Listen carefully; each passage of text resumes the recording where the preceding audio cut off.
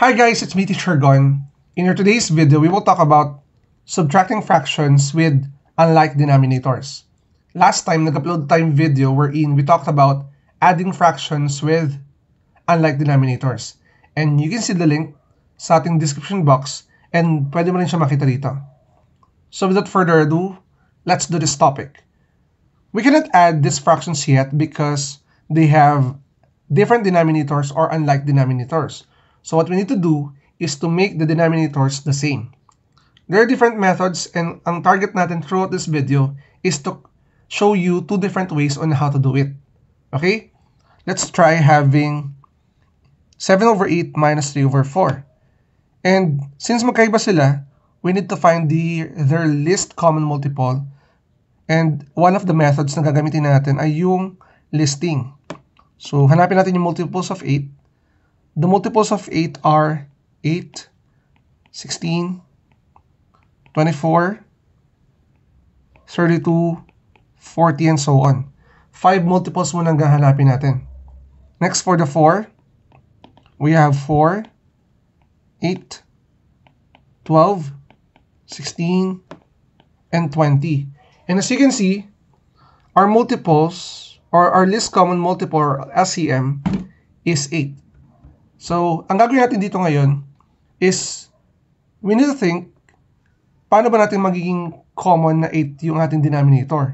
Since yung ating first fraction is already 7 over 8, so kakopya na lang natin, natin yung 7 over 8.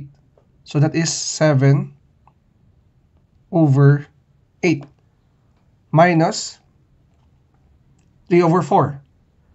We need to think, ano ba yung kailangan natin gawin to make it 4? Or, anong number yung kailangan natin i-multiply to make this denominator 8? So, the number is 2. We need to multiply this by 2. So, this will become 4 times 2, which is 8. Since nag-multiply tayo ng 2 sa ating denominator, we also need to multiply our numerator by 2. And 3 times 2 is 6.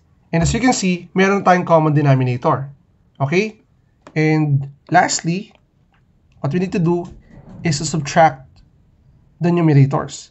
7 minus 6 is 1. And since meron tayong like denominator na 8, all we need to do is to copy the denominator. And as you can see, the answer is 1 over 8. Ayun yung first method natin. Iisip tayo ng multiplier to make our denominators the same. Next, we have 7 over 9 minus 2 over 3. As you can see, yung ating denominators are different, so we need to find the LCM of 9 and 3. So we have here 9. The multiples are 9, 18, 27, 36, 45. And for the 3 naman, the multiples are 3, 6, 9, 12, 15. And apparently guys, meron tayong LCM which is 9. So dito naman, dito kung nag- nag-isip tayo ng, multiply, ng i-multiply natin dito, dito naman, ito yung method natin we have to divide, multiply, divide, multiply. So our LCD is 9. And look at this one. 9 divided by 9, which is 1, times 7, it will give us the answer of 7. Minus 9 divided by 3, that is equal to 3, times 2, that is